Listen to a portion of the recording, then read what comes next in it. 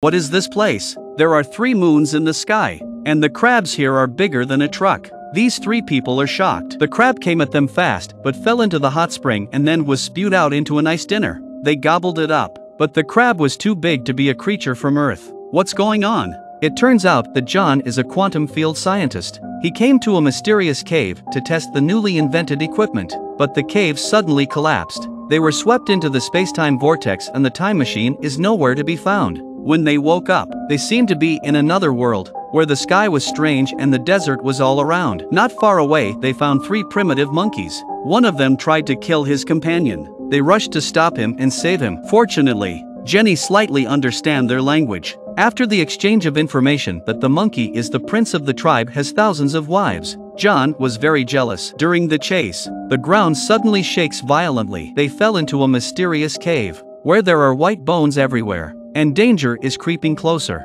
And then they were dragged by vines to hang in midair. At that moment John heard the roar of dinosaurs. They rushed to find a way to get out suddenly a Tyrannosaurus rex appeared in front of them.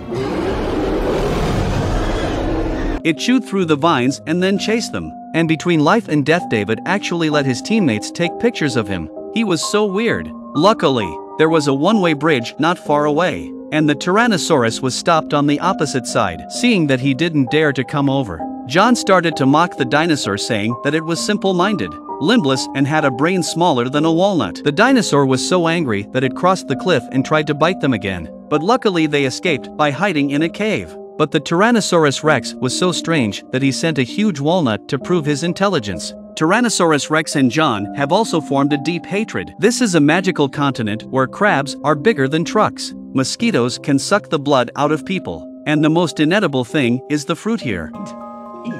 Thank you, Chaka. Thank you so much. Has a pungent flavor. It smells good. Very meaty.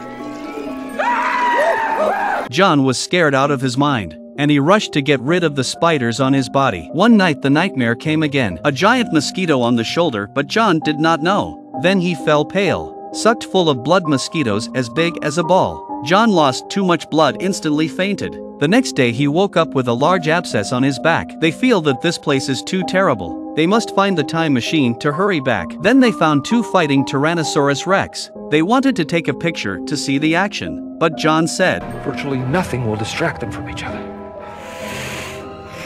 The two tyrannosaurs turned their heads and looked at the three. They desperately run away. John found a bottle of liquid nitrogen on the road. In an emergency, they loaded the liquid nitrogen into a rock thrower. A beautiful catapult just into the mouth of the dinosaur. The dinosaur's body, covered with ice crystals, cried out in pain and fell to the ground. With an explosion, the meat like rain on the ground. Just then they found the time machine in the pile of meat. They rushed forward, but the time machine was taken away by the pterodactyl and flew to a distant volcano. John was desperate, but only the time machine can let them go home. They had to go over the mountains and finally found the nest of the pterodactyl. The time machine is right in front of them, but the surrounding area is full of dinosaur eggs. And at the critical moment, their teammates are lying down and pretending to be dead. John had to go alone. He wandered through it with ease, as if a world-class dancer. He just got the machine. But something terrible happened. All the eggs around him cracked open, and the pterosaurs inside began to break out of their shells. One by one, the pterosaurs broke out of their shells, and to prevent them from screaming John sang a lullaby.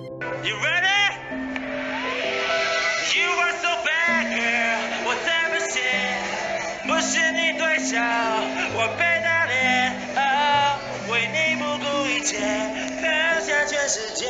No. Under the beautiful song, the baby dinosaurs slept peacefully, but they hadn't eaten for six months. Just then, a giant crab came flying at them, and they were powerless to resist. However, the earth began to shake violently, and the crab suddenly fell into the hot spring and was swept out by a wave of heat. John's heart was very happy. they began to enjoy a seafood meal, but after eating, Jenny disappeared.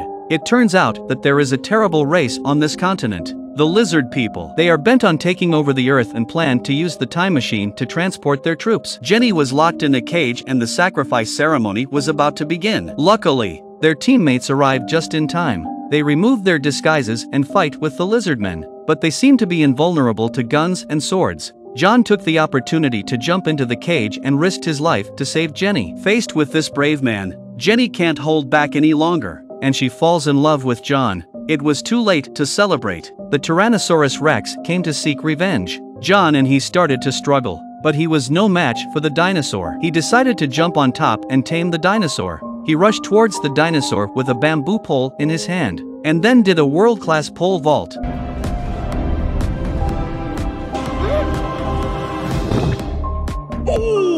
His teammates scream, and the dinosaur hiccups and walks away in style. But just as they were being mobbed by the lizard people, John returned on the dinosaur in a dominating manner. After being swallowed, he finally cured the Tyrannosaurus rex of years of constipation by digging all the way to the stomach, so they became brothers who knew each other well. John manipulated the Tyrannosaurus rex to fight, smashing it with his tail and biting it with his teeth. Under the cover of the dinosaurs, they finally caught the leader of the lizardmen. During the fight, the energy crystal was shattered. This is the end. The portal will disappear soon. They rushed to the exit, but David was caught by the leader. But he never thought that David was already attracted to the monkey's 7,000 wives. He told the two of them to hurry back, and he himself stayed on the continent forever. As expected, the prince's wives were all hot. David was surrounded by women, and from then on he lived a happy life.